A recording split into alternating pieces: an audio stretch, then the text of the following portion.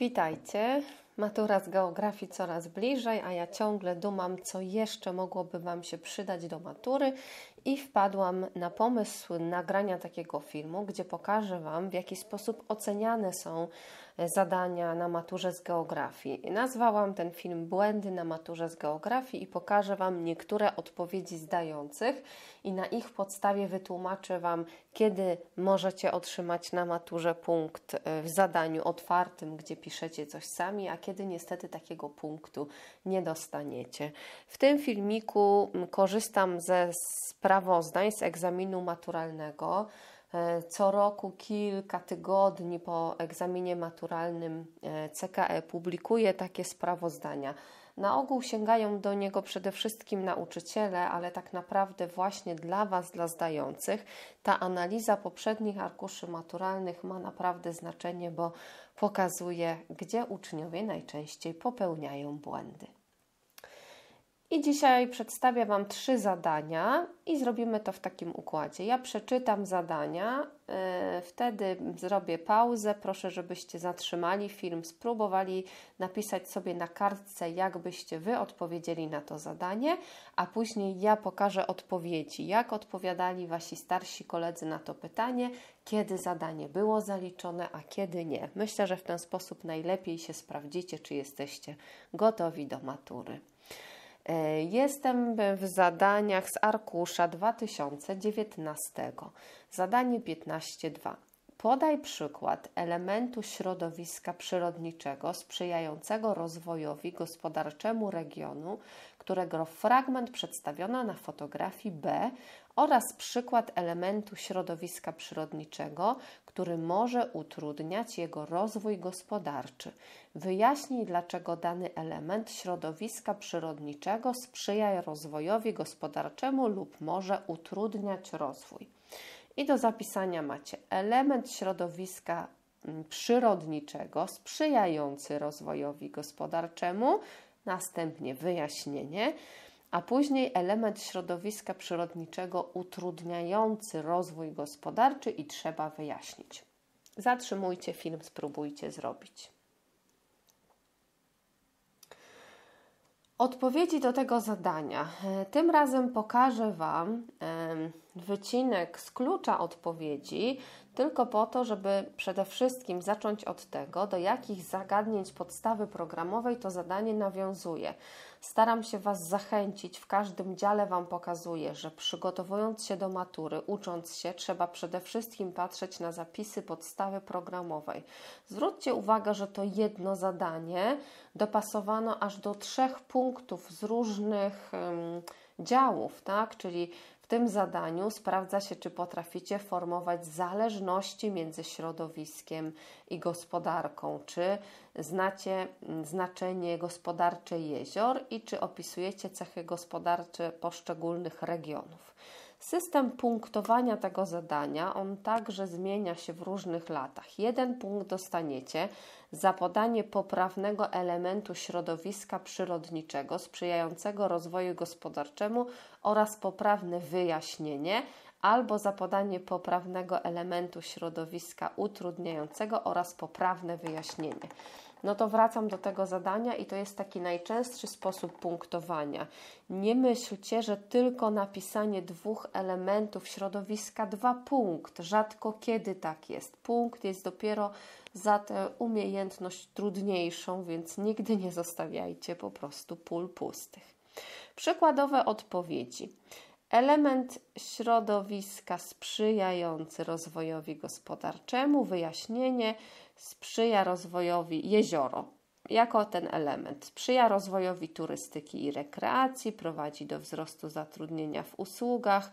Lasy sprzyjają turystyce i rekreacji, ponieważ zapewniają czyste powietrze niezbędne do wypoczynku, e, czyli te dwa elementy, te dwa elementy środowiska zostały tutaj zauważone jako elementy sprzyjające rozwojowi gospodarki.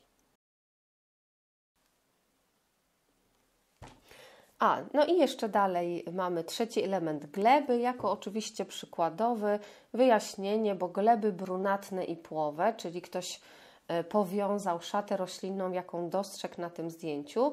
Rozwinięte miejscami na glinach zwałowych sprzyjają uzyskiwaniu wyskich plonów z upraw roślin. Ktoś zatem mm, znalazł to powiązane z, la, z lasem mieszanym. Teraz elementy przyrodnicze utrudniające rozwój gospodarczy. Jezioro, i zwróćcie uwagę na wyjaśnienie, jezioro nie sprzyja rozwojowi rolnictwa, ponieważ ogranicza areał, czyli obszar gruntów ornych, utrudnia komunikację, wydłuża drogi dojazdowe, y, wymusza budowę mostów, przepraw promowych zwiększa inwestycje. Lasy jako negatywny wpływ, bo lasy objęte ochroną mogą ograniczać lub wykluczać działalność gospodarczą, że się nie da na przykład eksploatować surowców. I gleby, bo niskiej jakości gleby rozwinięte miejscami na piaskach i żwirach, czyli tam, gdzie mogą być lasy iglaste, nie sprzyjają rozwojowi rolnictwa, no bo są mało żyzne. To jest tylko mm, proponowany klucz odpowiedzi, każde inne wyjaśnienie, gdybyście tutaj e, znaleźli, e, byłoby zaliczone. I teraz pokazuję odpowiedzi. No, część uczniów w tym roczniku bardzo dobrze pisała, że elementem środowiska przyrodniczego jest jezioro, które, zwróćcie uwagę, można tu było dawać jako sprzyjający element i utrudniający, chociaż nie było można e, dać dwa razy tego samego przykładu, było to zaznaczone w poleceniu. Jezioro może być atrakcją turystyczną, pobudza gospodarkę, pobudza rozwój. Ktoś napisał w swojej odpowiedzi bardzo dobrze i za tą odpowiedź dostał punkt. A teraz zobaczcie na przykłady, kiedy tego punktu nie było. Ktoś napisał tak samo, że jezioro, ale napisał, że podczas wylewu wód powodzi zalewają pola uprawne znajdujące się w pobliżu. I teraz tutaj chyba ktoś pomylił. Ja tak sądzę, że może jezioro z rzeką, bo te podtopienia i negatywna konsekwencja to jest zapomnienie o tym, że jezioro ma funkcję retencyjną, więc wydawało mi się, wydaje mi się, że ktoś e, tutaj pomylił te zbiorniki wodne i przy jeziorze ta odpowiedź nie będzie zaliczona i tutaj punktu nie było.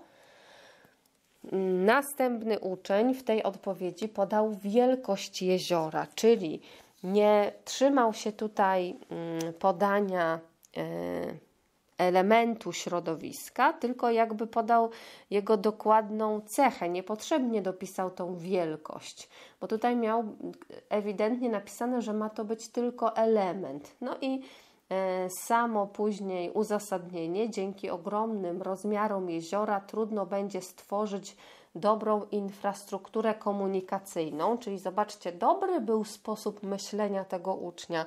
I faktycznie można było pisać o tej o tych konsekwencjach negatywnych jeziorach, chociażby w transporcie, w budowaniu mostów, tylko nie można było określić tego mm, no nie jako element, tylko jako konkretną cechę tego elementu. I taka odpowiedź przez to też nie była zaliczona.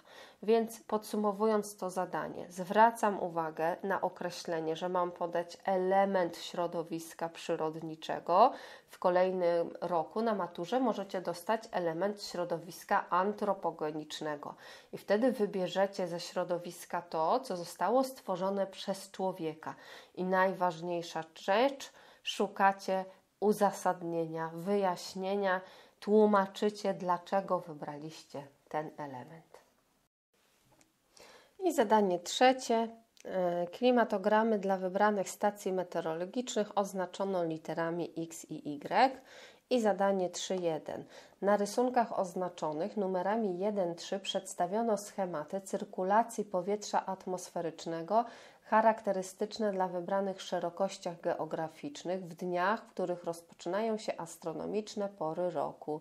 Literami X i Y oznaczono stacje meteorologiczne, dla których wykonany, wykonano klimatogramy. Mamy zatem dwa klimatogramy, mamy zaznaczone komórki mm, cyrkulacyjne, no z pewnym odchyleniem dla czerwca i grudnia. Podaj nazwę układu barycznego, dla którego są charakterystyczne niskie opady atmosferyczne w stacjach meteorologicznych X i Y. Wyjaśnij, dlaczego ten układ baryczny nie sprzyja występowaniu opadów. Spróbujcie zrobić. Podkreślam słowa kluczowe. Zdawalność tego zadania była bardzo niska, tylko 13% maturzystów je wykonało, i wydaje mi się, że niepotrzebnie uczniowie się przerazili tym zadaniem. Spróbujmy czytać dokładnie polecenie. Podaj nazwę układu barycznego. I jakie znacie dwa układy baryczne? Od tego by należało zacząć. Jakie znacie dwa układy baryczne? No mogę mieć niż baryczny albo wyż, niskie albo wysokie ciśnienie. I teraz jeżeli jest tutaj napisane, że nie sprzyja występowaniu opadów, to przy którym układzie barycznym macie, jesteśmy pozbawieni opadów, wystarczy pokierować się sytuacją w marcu i wrześniu i myślę, że wszyscy wiecie, że na równiku dużo pada, a na zwrotniku mamy to suche powietrze i wtedy bez wahania wybieramy wyż baryczny. W zadaniach tego typu, gdzieś tam o tym mówię w jednej z moich lekcji, że bardzo wskazane jest, żebyście zawsze używali słów, że mamy na równiku wstępujące powietrze i stępujące, czyli to unoszenie i opadanie w tej komórce cyrkulacyjnej, i już nieraz widziałam to, że bardzo przydaje się takie uzasadnienie. E, tu mamy z podstawy programowej z punktu 3.2, że zdający wskazuje przyczyny nierównomiernego rozkładu opadów. Odpowiedzią jest wyż i przykładowe wyjaśnienie. W zasięgu wyżu dominują właśnie stępujące ruchy mas powietrza, które powodują adiabatyczny wzrost temperatury powietrza, więc nie stwarzają warunków do kondensacji pary wodnej. W konsekwencji nie sprzyja powstawaniu chmur i opadów atmosferycznych. Nie przerażajcie się, jeśli nie będziecie w stanie użyć dokładnie tych wszystkich słów, ale te wstępowanie i stępowanie powietrza proszę, żebyście sobie e, utrwalili. No i uczeń bardzo ładnie tutaj podaje wyż i zobaczcie, jak świetnie wyjaśnia. W wyżu powietrze opada i nagrzewać się, przez co może pomieścić więcej pary wodnej w sobie. Dlatego nie sprzyja to występowaniu opadów, bo powietrze nie dochodzi do punktu rocy, przez co nie ma skraplania, więc także nie występują opady. I macie podkreślone te łączniki, które sprawiają w jego odpowiedzi, że bardzo wyraźnie widzimy, że on naprawdę nam pięknie tłumaczy tą odpowiedź. No, niestety inne złe odpowiedzi, nawet jeżeli wskazywali uczniowie dobry układ baryczny, tak jak tutaj wyż i piszą, ten układ baryczny nie sprzyja występowaniu opadów, ponieważ ciepłe powietrze unosi się, czyli zobaczcie, unosi się w wyżu, ciepłe, ogrzewa się powietrze i co? Ono unosi się, niebo jest bezchmurne i nie dochodzi do kondensacji, przy tym wznoszeniu nie powstają chmury, y, no to by znaczyło, że na równiku nie pada, czyli tutaj w wyjaśnieniu jest wręcz pomylony układ baryczny i myślę, że ktoś właściwie myślał pisząc tutaj o niżu. I trzecia odpowiedź, która wskazuje, że uczeń w ogóle nie wie, co to są układy baryczne, no i pisze o klimacie umiarkowanym, co z góry e, wskazuje jego odpowiedź na niepowodzenie, więc układ baryczny niż albo wyż. Przeczytajcie sobie jeszcze raz o tych ruchu powietrzu w komórkach cyrkulacyjnych. To często jest zadaniem otwartym. Zadanie 25. Na rysunku oznaczono literą A obszar nasadzeń lasu, a literą B obszar, na którym zlokalizowano osiedle mieszkaniowe. Ulokowanie nasadzeń lasu i osiedla mieszkaniowego jest zgodne z zasadami zrównoważonego rozwoju uzasadni, podając po jednym, różnym dla obu obszarów A i B argumencie, dlaczego najkorzystniej jest przeprowadzić nasadzenie lasu na obszarze oznaczonym literą A, a osiedle mieszkaniowe zlokalizować na obszarze oznaczonym literą B. Spróbujcie zatrzymać i podać argumenty. W zadaniu słowo kluczowe to jest uzasadnij, no musicie wyjaśnić. Absolutnie nie możecie tutaj zaprzeczać, e, czyli próbować lepiej zaproponować. To jest dobre rozwiązanie, a wy musicie znaleźć argument dlaczego, co powinno wam ułatwić to rozwiązanie, czyli wymyślić po prostu, nikt wam nie kazał zlokalizować, takie zadania też są, tylko dać uzasadnienie. To zadanie tyczy się właśnie tych zasad zrównoważonego rozwoju i zwracam Wam uwagę, że naprawdę niezwykle często w ostatnich latach, chyba w każdym roku z ostatnich trzech lat, było to zadanie, które gdzieś nawiązuje do tej lokalizacji. Punktacja. Jeden punkt za podanie poprawnego argumentu uzasadniającego lokalizację jednego z tych mm, obiektów. W przypadku lasu, zobaczcie, co mogliście pisać, że system korzeniowy drzew ogranicza intensywność ruchów masowych, których występowaniu sprzyja duże nachylenie terenu.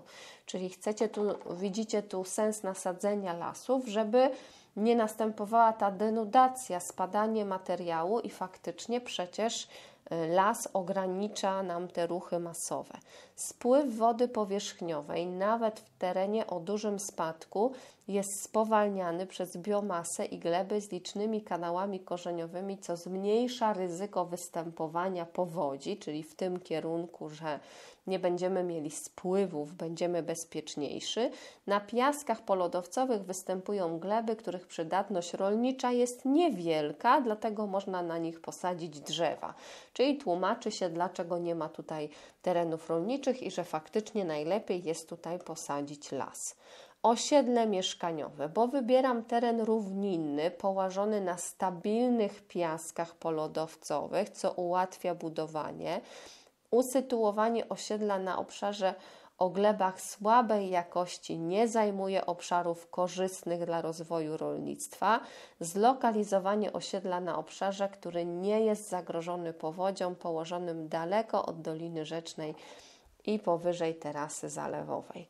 Wracam jeszcze do tego rysunku. Popatrzcie proszę raz i powiem Wam, co tutaj uczniowie mylili. Na przykład źle odczytywali z legendy i teraz w uzasadnieniu coś tam krążyli dobrze, ale pisali przypadku lasów używali nazewnictwa piasków rzecznych, czyli tutaj po prostu źle popatrzyli na legendę i to absolutnie już skreślało ich odpowiedź. Niedokładnie uoga, uogalnia, uogólniano, czyli na przykład pisali uczniowie, że obszar A jest na wzniesieniu, no to by znaczyło, że jest na samej górze, czyli jakby pomijaliście ten fakt, że to jest przecież stok. E, stosowali uczniowie niewłaściwie potoczne określenia, czyli pisali na przykład tak, spadzisty teren. Nie możecie tak pisać, musimy się posługiwać językiem geograficznym. Źle szacowali odległość oraz głębokości, na przykład uważali, że obszar A znajduje się blisko rzeki, podczas gdy, uwaga, tu macie piaski rzeczne i zaznaczoną dolinę rzeczną. No, czy to jest tak blisko rzeki, to ja bym e, sądzę, że ten uczeń myślał, że rzeka już się zaczyna od tego miejsca, więc tutaj też było nieprawidłowe myślenie. E, niewłaściwie interpretowali odczytane z legendy terminy, czyli pisali, że są tam piaski rzeczne, co równa się z wodą, która się przyda do rozwoju lasu, czyli to, co mówiłam, że niewłaściwie uczniowie rozumieli obecność tej doliny rzecznej. I spójrzmy na odpowiedzi uczniów. Yy, wielu, wiele tutaj, zaraz Wam sprawdzę, czy mam poziom wykonalności, ilu uczniów sobie z tym zadaniem poradziło. Na razie tego nie widzę, ale padały takie dobre odpowiedzi jak tutaj, że obszar A znajduje się na stromym stoku i budują go piaski polodowcowe. Piaski to małożyzne gleby bielicowe, więc obszar nadaje się do nasadzenia lasu. E, Dodatkowo nasadzenie lasu ogranicza ryzyko występowania osuwisk. Zobaczcie, ten uczeń więcej niż jeden argument podał i jak najbardziej zasłużył tutaj na jeden punkt. Bo obszar A jest bardzo nachylony, no to jest niepełna odpowiedź. Jest tu cecha obszaru i nie ma tego słowa uzasadnij i musicie dokładnie wyczerpać odpowiedź. Teraz następna. Piaski polodowcowe są bogate w minerały, przez to rośliny mają odpowiednie podłoże do rozwoju. No i tutaj mam yy, błędny sposób rozumienia związku i nie można dostać za to punktu. I kolejna zła odpowiedź. Piaski rzeczne są żyzne, więc są odpowiednim podłożem dla rozwoju roślin. I tu w ogóle już pomieszanie i też złe odczytane, odczytanie z samego rysunku. Yy, mam nadzieję, że Analiza tych trzech zadań była dla Was pomocna. Będę wdzięczna, jeżeli napiszecie mi w komentarzu, czy to Wam pomaga i mam się zabierać za kolejne filmy, w których pokażę Wasze dobre i złe odpowiedzi na maturze z geografii. Dziękuję bardzo.